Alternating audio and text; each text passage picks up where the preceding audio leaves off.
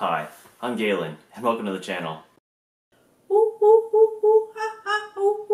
So today we're going to go over month 9, which puts us in March of 2022, and I'll go through it pretty quickly, but I was going through um, probably a week cycle of growing it out and then shaving it uh, during this time, so let's get into it. So the very first photo is from March 6th of 2022, and uh, essentially is the first week of uh, month 9.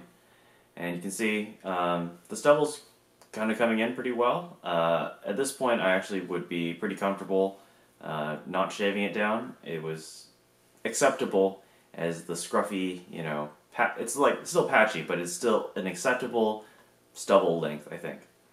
And you can kind of compare where I'm at at month 8 and month 9. And then you can compare to what I'm at today. And it's actually uh, almost a complete year since these photos were taken.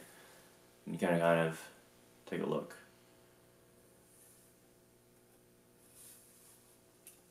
And here's what it looked like on the side, so you can kind of compare where, where I'm at right now.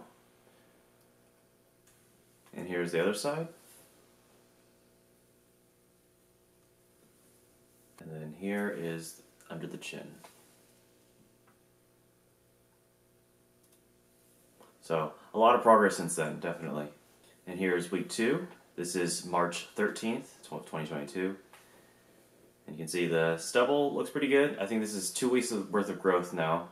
Uh, you can see that growing it out a little bit, to an extent, actually can sometimes cover up your patchiness. And then here's the side. And the other side.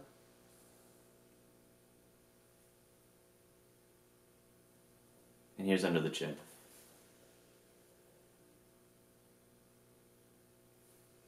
So here is uh, week three. So this puts us in March 20th. Um, I shaved it down, so this is a, probably a week's worth of growth. Um, right now, what I'm at is probably about maybe two or three weeks worth of growth. So not quite the same comparison, but you can kind of get the idea. So here's the side. And for you to compare where I'm at today. Definitely a lot further today than I was back then, but it is very slow progress. And then here's the other side.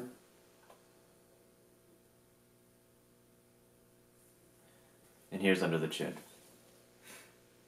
So you can see that there's definitely more density in this area than there is on the cheeks still, but it's all overall filling out.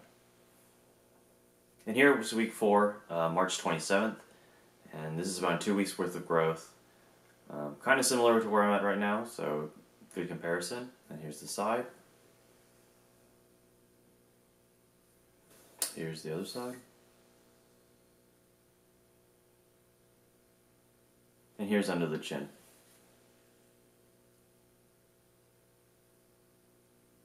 So that takes us to the end of the month. I hope that these videos are nice and succinct for you so you can kind of see the progress of where uh, I was uh, compared to the beginning of the journey and then also comparing to where I'm at now. Uh, I think this is a good comparison. You know, year over year, um, I've been able to get a lot of growth and progress. It does take a long time, so hope you can stick with it if you're interested in growing a beard yourself. If you want to follow me on this journey, please consider subscribing. Um, can't believe I'm at 40 subscribers now, so it keeps growing and it's getting really exciting for me. So thank you so much. And if you like this content, make sure to give me a thumbs up. Uh, that really helps me with the YouTube algorithm. Otherwise, hope to see you around, and stay strong, Beard Brother.